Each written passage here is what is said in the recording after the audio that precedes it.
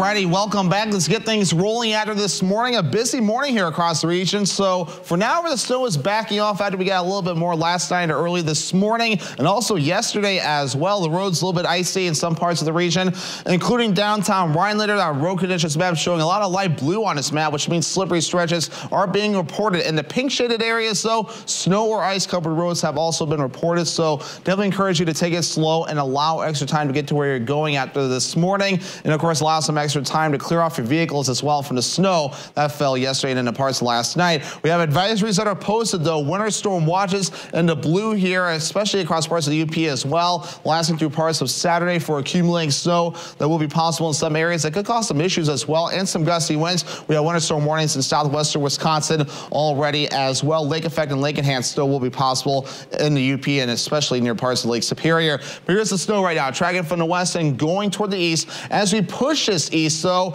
our focus then turns toward our next system node that's going to be approaching right about in here, tracking a little bit to the south and east and a little bit to the north and east as well. That's what's going to be giving us the snow and the gusty winds that will be coming up as early as tomorrow. So here we go. So we're going to push this thing further off towards the east. A few flurries possible today and also into parts of tonight as well. And then by the time we get towards Friday morning, especially by around 8 or 9 o'clock, we'll start seeing this moving in, even by 10 o'clock as well. From the south going to the north, gusty winds up to 40 miles per hour will be possible with the thing as well. Notice there's a pressure gradient getting stacked. And notice all the heavier snowfall in the eastern parts of the state, the southern parts of the state, and even in the parts of Illinois as well. And even in the parts of the UP where they will be seeing not only the snow from the system, but also some lake effect and lake enhanced snow too. We'll start to see it back off a bit as we head towards Saturday, but still some strong winds possible and a few snow showers and lake effect snow showers too. Will become we will become mainly lake effect snow showers as we head towards your Sunday, but still some strong winds possible from time to time. Here's our first general idea here. Expect us to change a bit as we get closer in the white shade, one to three inches of snow possible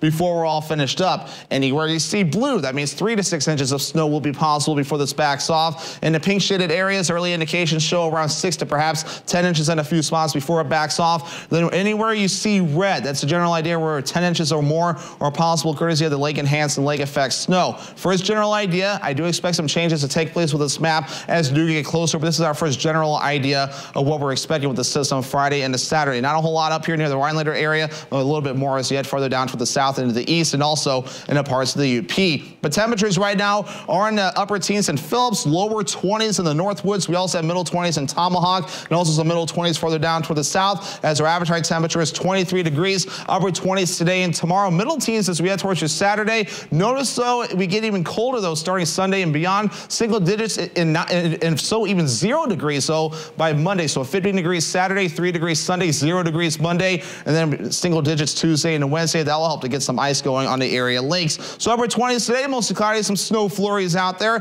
That south wind getting up to about 5 miles per hour today. By tonight, here we go, 16 degrees, mostly cloudy, more snow flurries on the way, and that east wind at about 5 to 10 miles per hour. Northwoods Furniture and Mattress, seven-day forecast. All right, so flurries today and tonight. The snow gets going Friday morning, continuing through the afternoon and evening time frame, and also in the parts of Saturday. Lake effect snow possible by Sunday, especially in the Northwoods. The notice we're dry next week, but notice we're really cooling off. Highs in the single digits and not zero degrees by Monday and lows well below zero.